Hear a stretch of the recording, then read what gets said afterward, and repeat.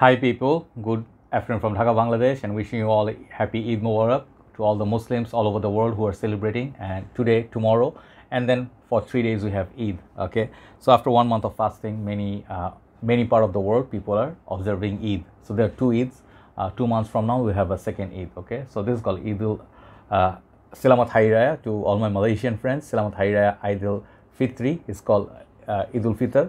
The second one is going to be Idul Adha or the Qurban Eid, okay? So uh, I have many fragrances. My fragrances are like piling on, and I bought many fragrances. I got a lot of samples to review, but uh, due to a lot of running around, a lot of work, you know, last second shopping and going here and there, not giving, not getting enough time to do reviews. So I am doing five today to make up for that. Hopefully, some of it you will like, and some of it you will actually enjoy. Okay. So the last episode I have here is called Penhaligon's. Okay. Penhaligon's is a niche house. Uh, I think, yeah, niche house. They have uh, two different lines as far as I know. Uh, understood that one line is basically uh, more affordable, not really affordable. You know, like I have sartorial. That one it's around $150 range. Some of the other ones they have they are like 200 plus 220 40 dollars and some of them are like around 200 like under 300 dollars so around you know within 300 dollars range they also have fragrance so they are kind of expensive so i did review quite a few penhaligons from samples sometimes from bottles so today I have that uh, special line. This one I forgot the name exactly. That what line this was. Let me check. Sorry, the voice is very in a very bad state. So this is actually from uh, man. Uh, man, this one is like something trade, Middle Eastern trade, Arabian trade. I- will write down the name. Okay. So this is the fragrance called Babylon. So they have five or six in this line. Okay. Look at the presentation very, very niche and upper class presentation okay? Here is the box. Very beautiful. These are actually inspired by i think middle eastern spices or middle eastern theme uh, like lifestyle or reminds reminiscent of those markets or something like it. So the trade line you know like the, when they went with the sheep to trade spices or something. So it supposedly inspired by that. Here you go once again.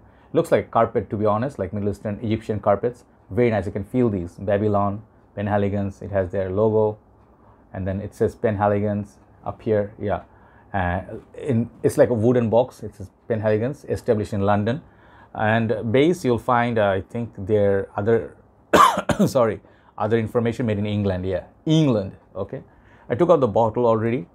So I'll tell you something funny happened. I'll tell you. And inside looks like that. It's a paper, and then not really much cushioning, but the bottle sits deep down there.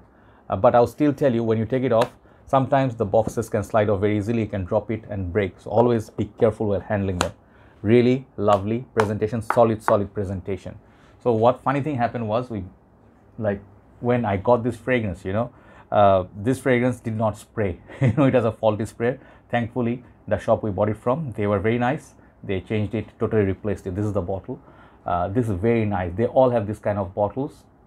And I also have Cairo coming up from this line. I love Cairo more than this. Okay. Uh, these are expensive okay? These are $250 fragrances okay? Take a look at the beautiful bottle beautiful bottle okay? Look at the crystal ball cap. Very artistic simplistic but looks very elegant because the juice color is very beautiful. Gives that middle eastern vibe. And this one for some reason give me a feel of you know christmas. I don't know why. It has this kind of christmas tree you know that kind of feel. The design is pretty nice sorry because tomorrow is Eid, so uh, house there's cooking going on. You'll hear some blending and stuff like blender sound. I apologize, uh, but the city is empty right now. Very nice. Okay, uh, it's very peaceful in the city. Where is the sprayer? Okay, let's spray this and talk about it. I have the dry down there. Sprayer is very good. Okay, sprayer is very very nice. And this house, I'll tell you, they have a lot of fragrances. In Bangladesh, they do have the shop called Sandara, the retail outlet they are authorized distributor they have the whole line the theme you know the picture is there you know like all the posters are there. So you go have a very excellent um, experience you know you go first and you see the bottles all the bottles got testers you know they have those animal head uh, theme bottles. They look fantastic.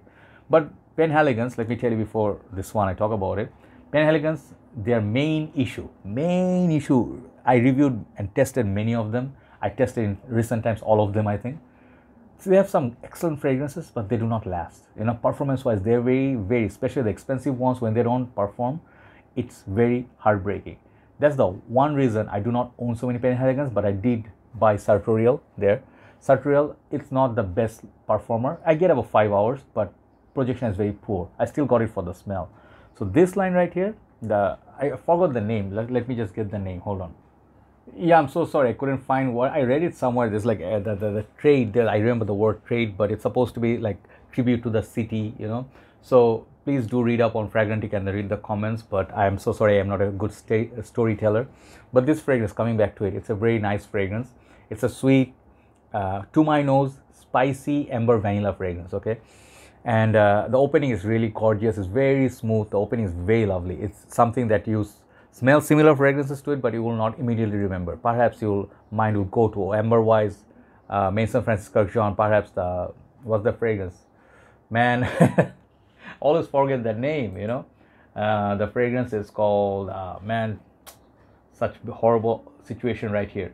Uh, grand soir okay? If you like that this one has properties of it. But um, most of the people who wrote it and i have those fragrances happen to have those fragrances so i can compare and tell you this is similar to a couple of fragrances that i have and they are actually way more affordable than this okay which make you wonder uh, let me show you which one they are it gets compared to a little bit of Raghba by Lattafa, okay? And this fragrance, it's very beast mode, very loud, but synthetic at the same time. Got the vanilla warmth of it, amber, oud, uh, not exactly same to this, but got similar vibe. But mostly this one gets compared to Arabian Oud Kalemat. If you have this, you don't need that. Okay, I'll tell you because this one can be had for hundred something dollars as opposed to half of the price of this with excellent longevity. Both of them they last. Okay, no problem. But Arabian Oud, the presentation is just too good. So Penhaligon's bottles are nice. You know, it's like a British regal house. I think royal family has something to do with this house. I'm not quite sure. But this fragrance smells nice. It's for perhaps women and men both, but feels like it can be worn by anybody. Ideal time to wear this colder months, night time if it rains. Warmer months, I would not dare put this on me. So the difference between this and those, uh, there is a note of blueberry or something like that in Arabian Oud Kalemat. This one I do not get those fruity notes, so there's slight differences. And Arabian Oud Kalemat and there, these are both very smoothly done, both niche house, plenty well. If you have one of them, you don't need the other.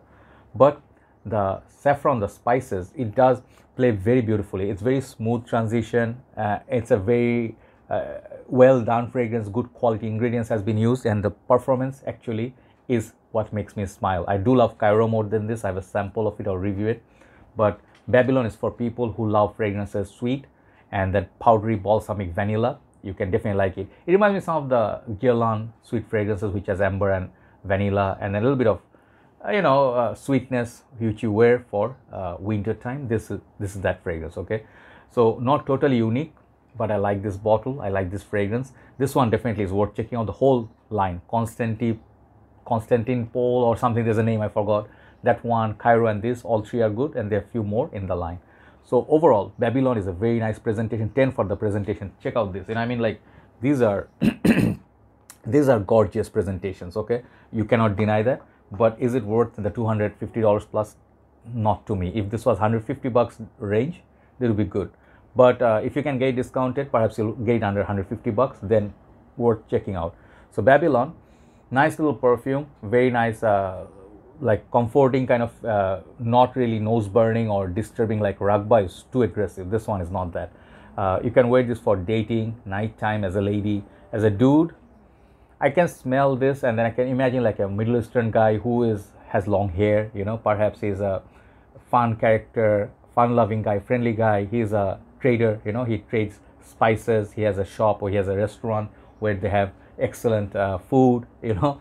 Uh, that's what I feel. Babylon is a nice one, but perhaps I expect a little bit more, you know, like saffron or something a little bit more rugged. Leather would be nice that gives that masculine vibe. It's not totally masculine fragrance. That's the only thing I feel guys may not appreciate. But women will love this perfume. Very nice warm vanilla, uh, very sexy fragrance. Very little bit of hint of powder somewhere. I love this fragrance. It's very very solid. But if you ask me between this and Kalemat, just for the value, I'll go Arabian Oud Kalemat. Just take a look at that bottle. They're very similar, but they have their own distinctive character. Yeah, this one definitely has the fruity opening. Uh, you, if you like blueberry berries, you can pick this up. okay? Excellent longevity on that too. Overall babylon i'll give it an 8 out of 10 okay from house of penhaligon's. Thank you so much for watching. Hopefully you try it out. Get a sample then you will get a full experience. Have a nice day. Thanks for watching. I'll go upload this. Have a nice day. Bye bye